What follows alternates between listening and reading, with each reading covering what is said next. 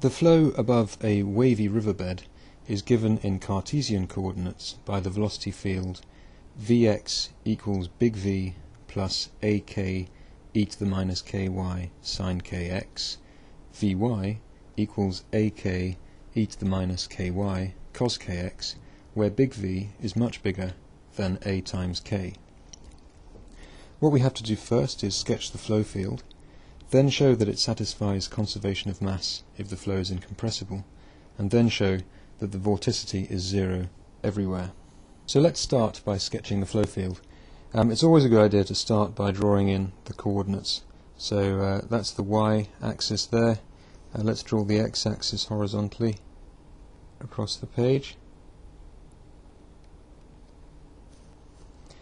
Now, the first thing to note is uh, this comment that v is very much bigger than ak. It means that this v term at the beginning in the vx will be very much bigger than the other two terms. Um, and uh, that means that globally the uh, fluid motion is in that direction at a velocity v, and that the other terms are really just additions to that, small additions to that. Furthermore, um, we have here e to the minus ky terms in both of these small further additions, which means that as y increases, as y gets larger, these terms get smaller and smaller. So we can tell that at large values of y, essentially what we have is a velocity moving horizontally um, in the positive x direction. Now let's turn our attention to um, values around y equals to 0, where the e to the minus ky terms become roughly equal to 1. Um, we'll see that the velocity in the y direction then becomes ak cos kx, and that means that it has a maximum at x equal to 0 uh, in the upwards direction, the same maximum at x equal to 2 pi over k, uh, again in the positive direction, and then a maximum in the other, other direction at x is equal to pi over k. Now these, of course, the, this upwards downward motion is just superimposed onto that global horizontal motion. So what we have is the horizontal with a bit of upwards at that point there, the horizontal with a bit of downwards at x equal to pi over k, and horizontal with a bit of upwards at 2 pi over k. And now we can begin to fill in some of the other points. These will be going horizontally when uh, exactly halfway between 0 and pi over k, and pi over k and 2 pi over k, and this will be repeating itself all the way along the x-axis. So now we can start to draw in a streamline at the bottom that joins up these velocity vectors and there's our streamline at the bottom. Now let's again turn our attention to the e to the minus ky term. What that's saying is that as you go up the y-axis in this direction, um, the velocities are just getting exponentially smaller. So a little bit further up we'll have the same sort of streamline shape, but it'll be a little bit uh, with a smaller amplitude. And then further up the amplitude will be even lower. So we end up then with the flow over a wavy riverbed. Now we have to show that this flow satisfies the conservation of mass. Um, if you go back to the notes, you'll find the conservation of mass uh, written in vector form is d rho dt is equal to minus the divergence of rho v, where v is a vector. Now, we're told that the flow is incompressible, which means that rho is a constant. And this means that this term simplifies to 0 equals minus rho comes out because it's a constant of the divergence of v, and because rho is a constant, this means simply that the divergence of v is equal to 0. Now the strict way of writing out this expression uh, in Cartesian coordinates is this, and then we work that out noting that ex dotted with ex is equal to 1 and ex dotted with ey is equal to 0, etc. Now in Cartesian coordinates, but only in Cartesian coordinates, you can use a shorthand for this. You can say that uh, this is equal to d by dx, d by dy, That's the uh, nabla operator there, or the upside down triangle, dotted with Vx, Vy, written as a vector like that.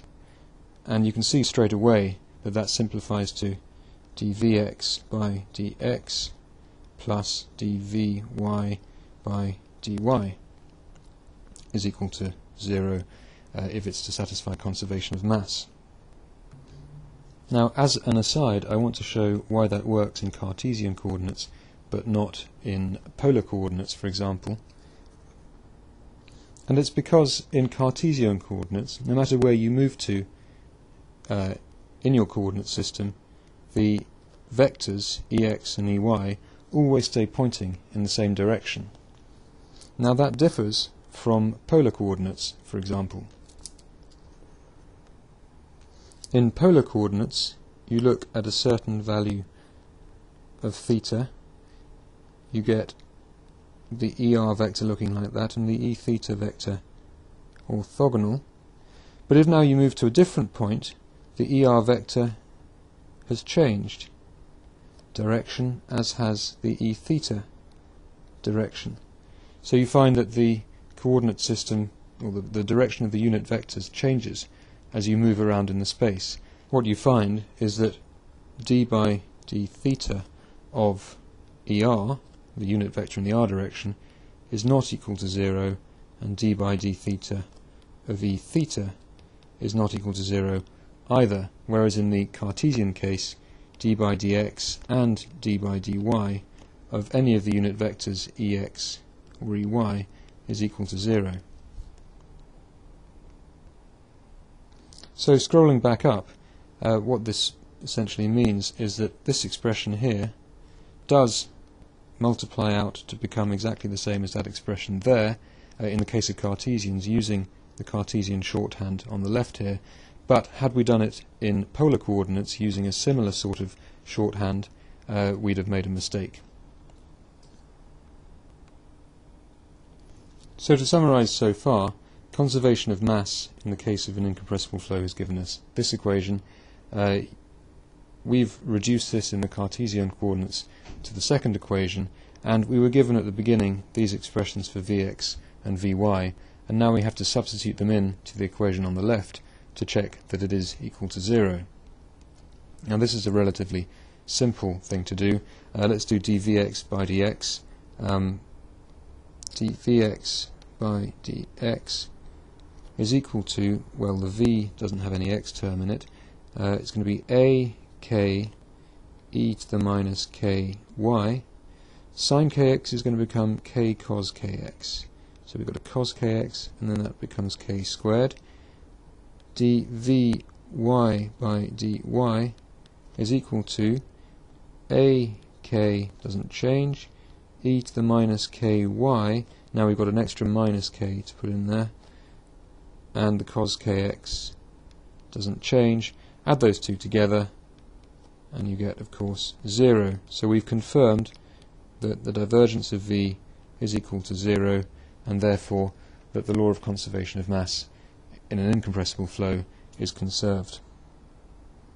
And the next thing we have to do is show that the vorticity is zero everywhere. Now the vorticity is defined, well, it's often given the symbol omega, it's defined as del or nabla crossed with v, or the curl of v. Um, now we can again use our Cartesian shorthand here, so we've got d by dx, d by dy, crossed with vx vy and that's equal to dvy by dx minus dvx by dy and we can substitute in our values or expressions for vx and vy again and we find that we get minus a k squared e to the minus ky sine kx that's the dvy by dx, plus a k squared e to the minus ky sine kx, and that's equal to 0. So we have that the curl of v is equal to 0, In other words, the flow is what we call irrotational. Now this has very important consequences for Bernoulli's equation that you can find in the lecture notes. Um, for interest, you might like to work out where the pressure will be highest and where it will be lowest, um, and then in fact derive an expression for the pressure, noting that big V is much larger than A times K, so some terms will be much bigger than others.